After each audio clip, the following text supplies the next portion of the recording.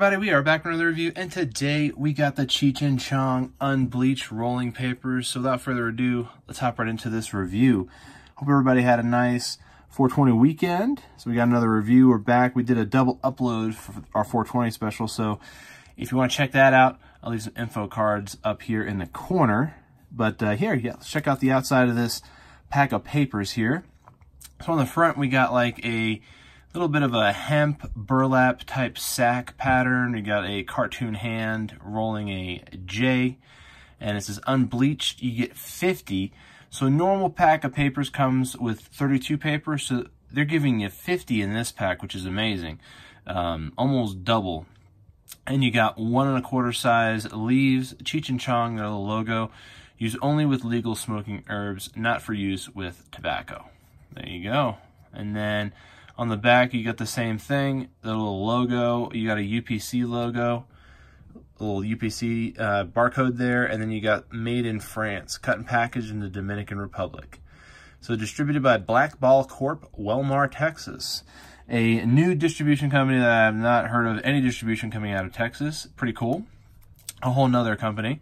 Uh, let's check out the end caps and the side spines here. So on the side spines, we got the 50 leaves, one and a quarter natural gum, unbleached.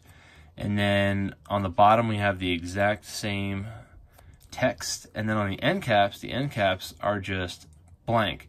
They are just a burlap little pattern right there with the green ends. And let's check out the inside here. The inside, we got nothing nothing too crazy here. A very light logo of the rolling a J.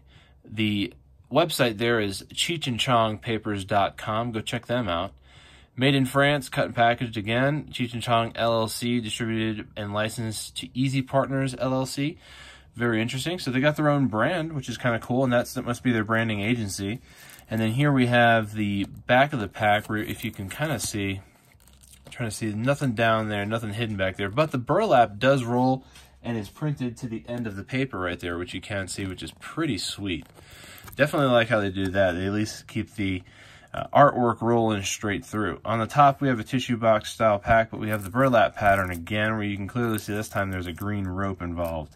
On the sides here, you kind of you kind of got that, but you didn't really get it. Let's see if we can get that. Yeah, you kind of got that, but you didn't really get that.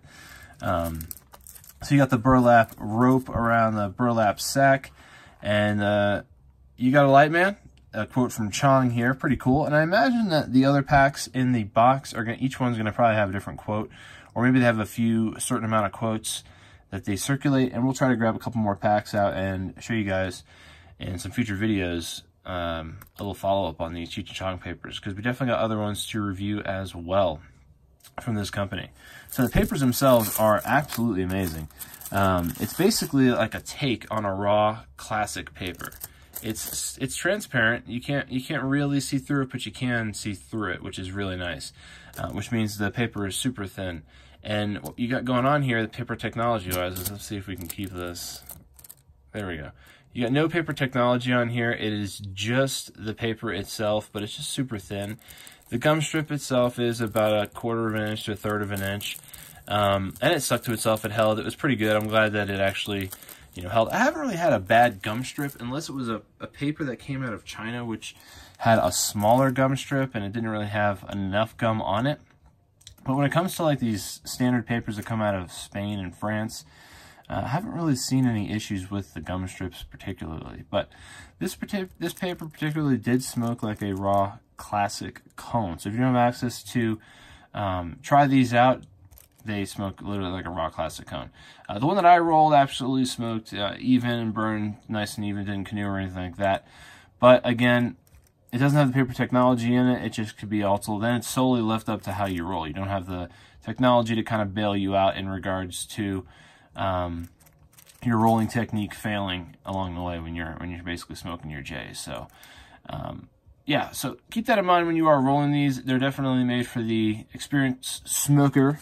Um, it'd be nice if they put some cut corners on these so you can basically roll all these real nice by, by hand and get a nice little Zeppelin. But that's neither here nor there. Uh, if you've tried these Cheech and Chong papers, let us know in the comments down below.